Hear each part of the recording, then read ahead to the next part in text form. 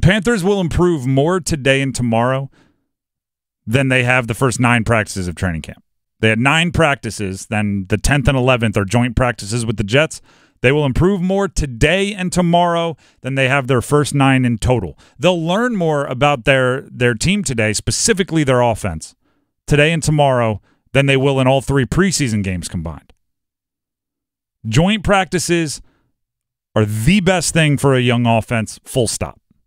Right? That's the end of the sentence. No qualifiers.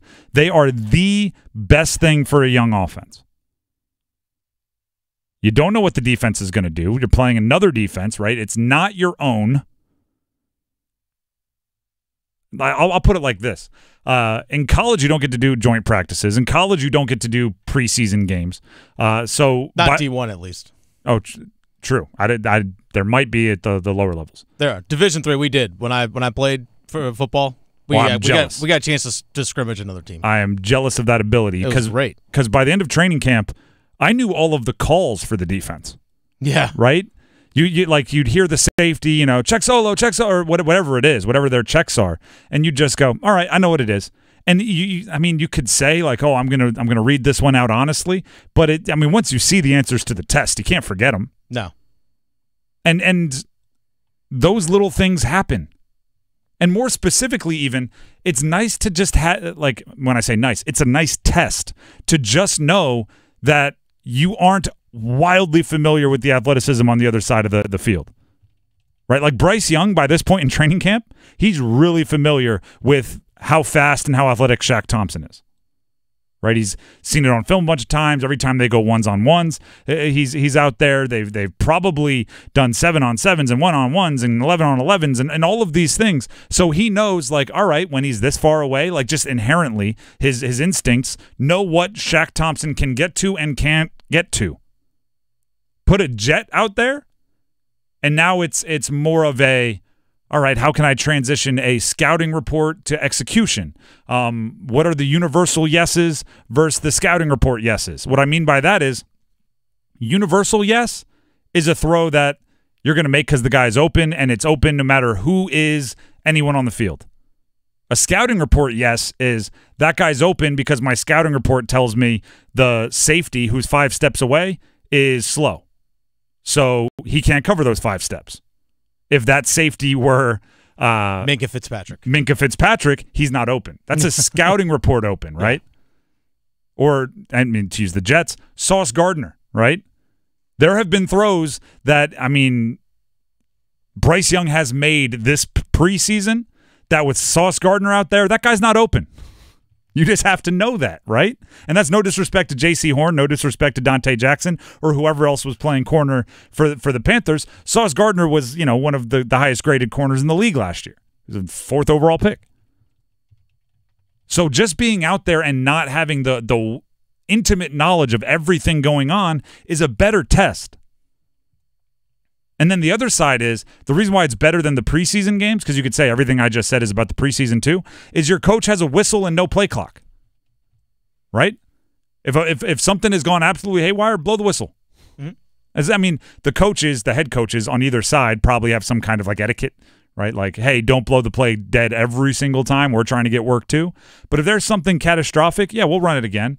If you need 25, 30 seconds to talk to your your quarterback, take it, right? Don't take 5 minutes, but it's it's it's something that's more like a practice. Sometimes, from my experience, both as a player and as a coach, when having these joint practices when I was with Mm-hmm. lacrosse, we would sometimes have built in like, all right, we're going to go X amount of time with this, and then all right, we're going to break for Yep. three minutes or two minutes so we can all discuss stuff, then pick back up with whatever drill that is we were doing. And and and those types of moments are invaluable for someone like Bryce Young. Oh yeah, And even a preseason game, I know preseason games are informal. Like you can't just go, can we agree to take three minutes here? We want to go down here and, and run that play on air a few times just to make sure we got it. hey, can we walk through it? Yeah. uh, What did Then you do there? What it. did you do? Did you come? Hey, 36. Did you did you blitz? You can't do that in a, in a preseason game as much as, is- you know, I'm sure sometimes coaches want to. Bryce Young on the benefits of facing another defense. I think it's just great for, for myself, for us as a unit, us as a team to go against, you know, go against different faces. You know, when you're playing against a similar system and, you know, there's only so much you can build off of and so much that, you know, it's a lot of chess because you're going against the same guys. You know the ins and outs of everyone. Um, but being able to go against a, a, different group, I think it's just, I think it's just, you know, great for us to, for me to be challenged, for us as a, as a unit, as a team to be challenged. And, you know, I think that it's just a different, you know, different type of competition. Um, again, you know, you us competing against each other. You know, we, we're competing, but at the same time, we know we're on the same team and we have each other's backs and we're going to the locker room together. And, you know, now we get to be able to, you know, really be that one unit um, against another team, uh, which is which is great. You know, it kind of helps bring us together. And, um, you know, I, I, think just being able to have that competition is something that's really uh, pushed me and allowed me to grow. It is a different kind of competition. Specifically, the Jets are not joking around. They are brash right now right? The Jets, they're everybody's kind of darling. I saw uh, one article talk about all the different bets that are on the, the Jets to to win the Super Bowl. So they're they're feeling it, right? They're also going to bring a fastball look that you don't normally get because of that, right? They they don't want to uh, lose a rep.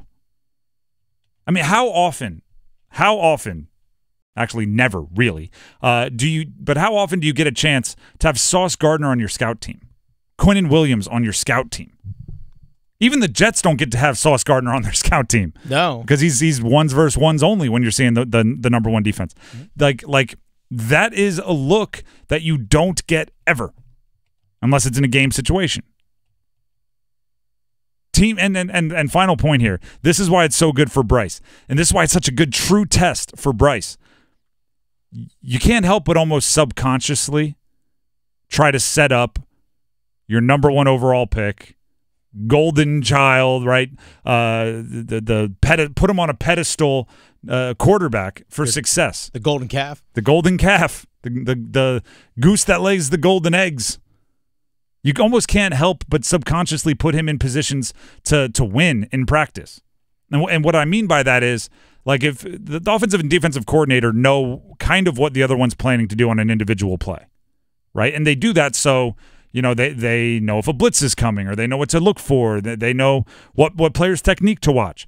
So if an offensive coordinator knows i don't know they're they're dropping everybody deep i don't think it's going to be intentional. But subconsciously you may look at bryce and go hey if it's not there take the check down. Right? Which is something you would say like on the field in a game if you're you're just trying to make sure he's sharp. Like hey don't force it downfield. Take the check. If, if it's there if you need to but when you say that before a play that they drop everybody deep, of course he's going to be a little bit wired, right? He's going to just know what's going on. He's going to be cool with taking the check down. Then he does it, and you go, sweet, this guy's a genius. Well, guess what? When you're playing against the Jets, you, you can't even have that subconscious thought, right? If you say, mm-hmm. hey, hey, take the check down if everybody drops off, you don't know if everybody's going to. They might bring the house on that one, and it might be the pre, the perfect play to take a deep shot. So Bryce Young, really for the first time this this preseason, is going to get a true test. Is going to get like the the right the control in the experiment, where all other variables remain the same. Now you just get to go play football against someone else. This this practice, which happened earlier today, and tomorrow's, wildly important.